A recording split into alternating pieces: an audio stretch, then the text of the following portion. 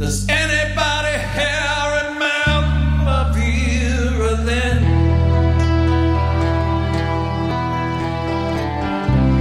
Remember how she said that we would meet again some sunny day?